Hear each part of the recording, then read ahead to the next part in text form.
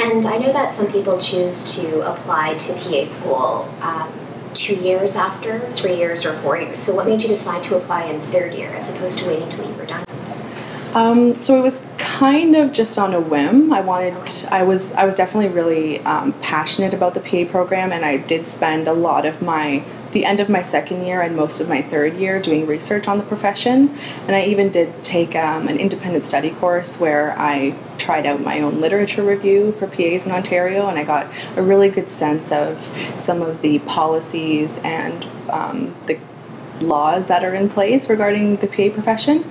And so I just sort of felt like if I wanted to do it, I should just do it now and see what happens. And if not, then I can always just go back and finish my fourth year and then reapply. And so it was even a tough choice when I got in after my third year, deciding, you know, should I do this now or should I just finish up my degree? I don't want to lose this degree.